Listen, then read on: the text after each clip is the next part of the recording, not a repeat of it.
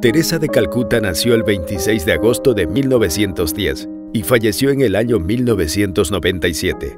Fue una monja católica de etnia albanesa, nacida en Skopje, actual capital de la ex República Yugoslava de Macedonia, y posteriormente nacionalizada india. Fue fundadora de la Orden de las Misioneras de la Caridad y Premio Nobel de la Paz. Agnes Gonza Bonjasiu, su verdadero nombre, ingresó a los 18 años a la Orden de las Hermanas de Nuestra Señora de Loreto en Irlanda.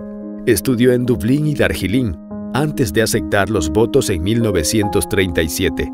A continuación dirigía su colegio católico en Calcuta, donde la presencia de enfermos y moribundos en las calles la llevó a pedir permiso para dejar su puesto en el convento y dedicarse, desde 1948, a cuidar a los enfermos. Dos años después, la diócesis de Calcuta aprobó la congregación de la Madre Teresa con el nombre Misioneras de la Caridad. Más tarde, la orden fue reconocida como una congregación pontificia bajo la jurisdicción de Roma. Sus miembros Además de los tres votos básicos de pobreza, castidad y obediencia, han de asumir para ser aceptados en la comunidad religiosa un cuarto voto, la promesa de servir a los pobres, a quienes la Madre Teresa describiría como encarnaciones de Jesucristo. En 1952 abrió en Calcuta la Casa de Moribundos Indigentes Corazón Puro.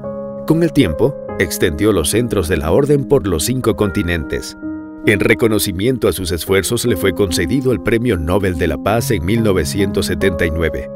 En 1990, el Papa Juan Pablo II le instó para que realizara tareas de menor rigor debido a su cada vez más precaria salud.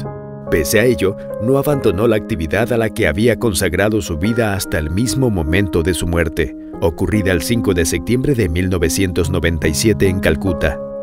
En octubre del 2003 fue beatificada por el Papa Juan Pablo II en una multitudinaria ceremonia celebrada en la Plaza Romana de San Pedro.